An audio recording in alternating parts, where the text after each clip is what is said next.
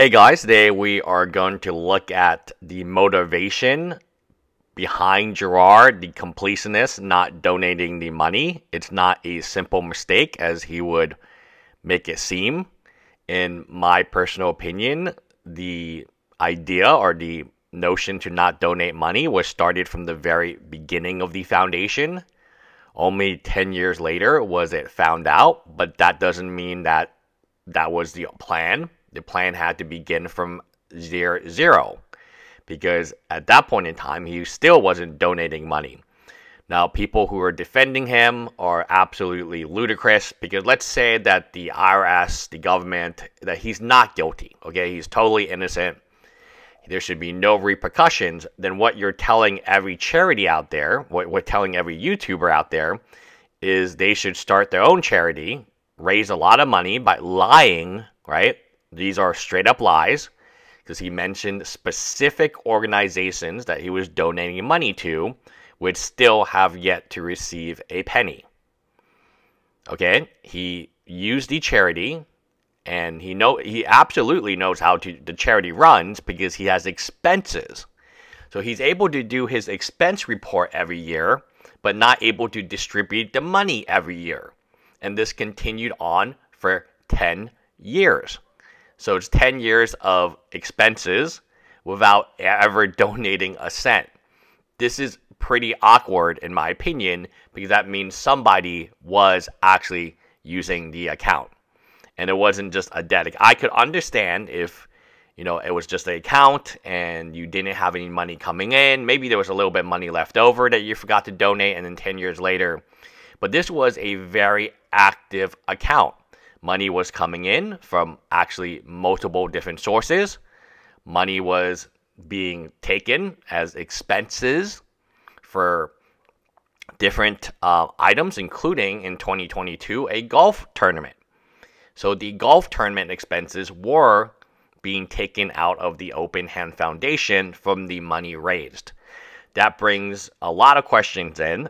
But if you think he's innocent and you think that there should be no repercussions for this type of behavior, then you would be encouraging other people to do so.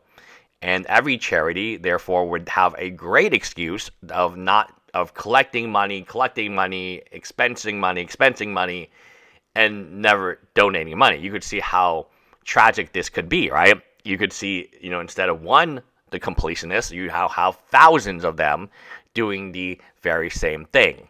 So you have people saying, I'm going to donate money to XYZ Foundation uh, to raise the money, right, to get people to donate. They raise the money, they're expensing their media production, the golf tournament, whatever they're expensing on the account, which is perfectly fine.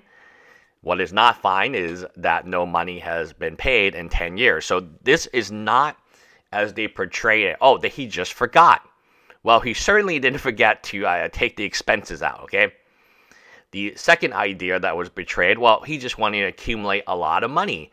Well, that should, if that was ever true, that should be conveyed to people.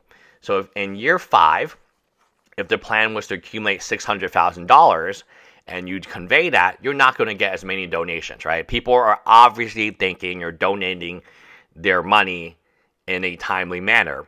And this is my point. My point is it's not his money.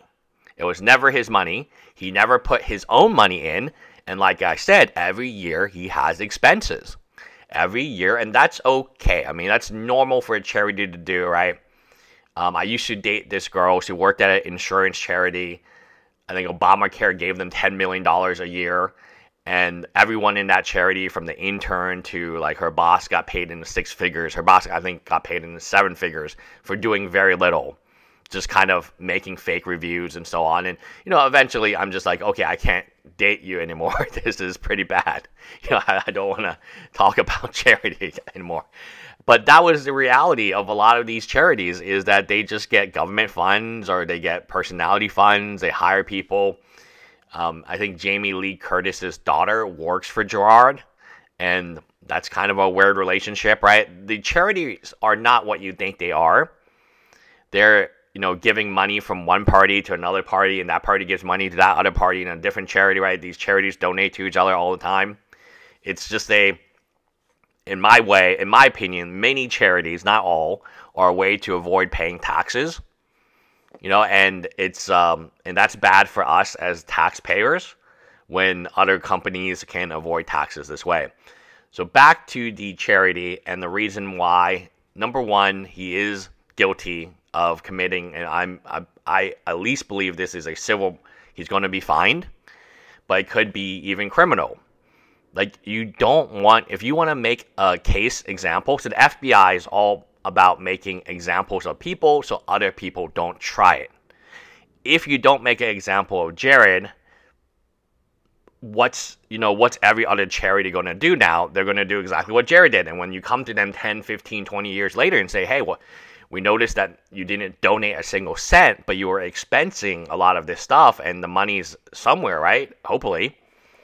Well the next time the jared individual will not have the money because nine times out of ten they probably don't have the resources to fill up the bank account so jared Jirard, Jirard, yes, Jirard, he is um, screwed because I cannot see a scenario where this is allowed to continue. I cannot see a scenario where he's not punished by the law. I can't see a scenario where they green light this. Like simply put, if he's innocent and he's doesn't he comes off clean and he's then every single charity and from here and you know how you know i mean there are good charities and there are bad charities but every single charity including people who are just creating new charities right now is just going to withhold money. They're going to expense it and then withhold money. And then hopefully somebody forgets about the charity in the future and then the money just goes in their bank account if not already into their personal bank accounts charity fraud is not a you have to just like choosing to be a public figure, Jirard cho- chose to be a public figure. He chose to put his life, his mom's life, his dad's life on social media. I didn't choose that for him. He chose that for himself. He wanted the fame, he wanted the fortune. Unfortunately, as any YouTube content creator can tell you, even a small YouTube content creator like myself, you get criticized. That's part of the game. If you want to go out there and you want to promote yourself and you want to promote your company and you want to promote your brand and you want subscribers and so on, you get you get criticized. That's just the nature of the game that we play on YouTube. And as soon as you make a YouTube video, you understand the comments you have no control over, the dislike button you don't have any control over. You don't have control over these things of what you what you say. People may not like to hear, even if you think it's real. So when you look at this, he also chose to make a charity for his dead mom. That was a choice he made. And when you make a choice, that's a responsibility. I actually had a um, interesting talk with somebody. So in my neighborhood, people abandon their dogs a lot. I live in one of the poorest places in Texas. According to FBI, it is rated the second most dangerous place in Texas to live.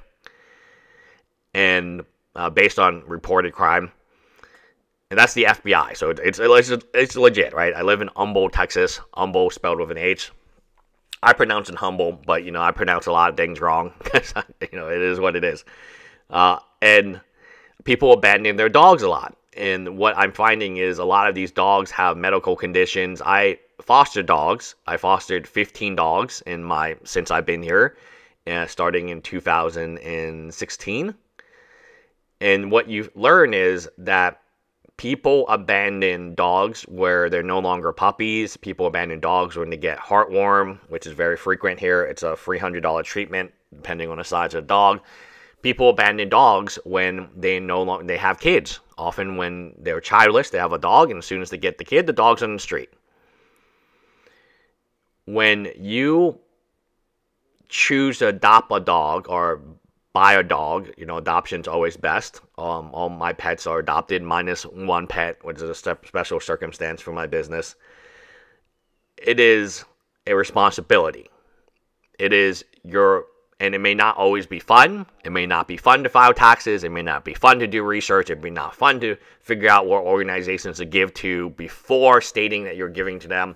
It's not all fun and games when you start a charity. It's not all fun and games when you you're making, a, in my personal opinion, you're making a commitment to that dog or that cat, right? That you're saying, you know what, even in old age, even in bad health, you know, you gave me so much joy when you were younger. I'm going to return it to you. I have an old dog, and it's really like kind of crossing my mind a lot more frequently. He has hip issues, right? He's uh, 11 and a half and it's a responsibility. This charity is a responsibility. If you open a charity and you're dead mom and you gain fame from it, you gain subscribers, you gain Twitch followers or whatever they are, you gain social media. I mean, he's been covered by social media. People be posting about you and how generous and how nice of a person you are because of this charity. You're gaining stuff from that. Your return is to treat this charity as a real business to know what's going on with the charity every single year. You certainly know how to take money from the charity, as shown by your expenses that you take every single year. So somehow somebody's able to calculate that, right? So it's not like they don't know the charity exists, of course, right? They're they're calculating how much money they can take from the charity, but they never calculate who to give the charity to, or never that's your responsibility as a charity. And every year, it's not like, oh, we're just going to wait 10 years and give it to one person. Maybe every year you give it to a different organization that can do something good with it, right? They pitch you and they say, hey, Jirard, this is our charity. We can do this this year. If you give us this money, we can help this many people. Great. Maybe next year there's a better pitch for you and you want to give that to that charity and you research. I could understand a situation where you miss one or two years because you're trying to research, you're trying to get a better feel for different companies that you might want to give money to, or different charities, different foundations. But I don't get 10 years. No one did any research. No one figured out any companies. No one even talked to these companies and was like, hey guys, uh, I know we're using your name right now, but uh, here, what, what can you offer? What can you. It's, it's astounding to me, right? That people will defend this behavior when it's, uh, it, it's indefensible we're not talking about an organization that's two year, one year, two years, three years, four years. We're talking about an organization that's ten years, approaching ten years. Like, how did they not um, figure this out? Like, I, I am, I am absolutely just gobsmacked, right? Like, it's they figured out how to deduct money from the charity for their own expenses, like golf tournaments, right? Which is fine. That is a real expense. I'm just saying that, you know, in, in terms of like what type of people they are, they're not the type of people that pay for their own golf tournament, right? I'm just trying to talk about the, the expenses and the fact that this is an active filing. They are filing their taxes every year. It's not like somebody forgot. That's what he wants you to believe, that they just simply forgot. The explanation is a lot deeper, and we have to look into his relationship with his mom. I, I know people don't like the personal, but he put it out there. I didn't put that shit out there. I don't know anything about him. He put it out there. I just read it. Like, how can you then? I mean, if you don't want it out there, then don't publicly put it out there on a podcast, right? You put it out there because you wanted people feel bad for you. You you wanted the attention. You wanted the click. You wanted the subscribers. Be very careful, dude, because whatever you put out as a public figure can you are open to criticism on that item. Not just that day not just that year but many years later. That's my opinion on public figures. But back to my original concept. People who are defending him saying he's innocent have no idea. They gotta look at the math. They raise all this money over 10 years they, they had expenses over 10 years they filed taxes over 10 years, and no one thought it was bad that the money was still sitting there until recently. Yeah. You cannot, as society, as a member of society, we cannot allow this to be precedent, right? So in case law, if um, Jirard is found innocent, and he's not fined or he's not punished in a way that would prevent future people from doing this, then every single YouTuber will now have a charity and they're going to raise money. They're going to make claims that their money is going to St. Jude's and the money's really just sitting on a bank account, right? Hoping that people eventually forget it. Anyway, Let me know what you guys think in the comments below. Hi, guys.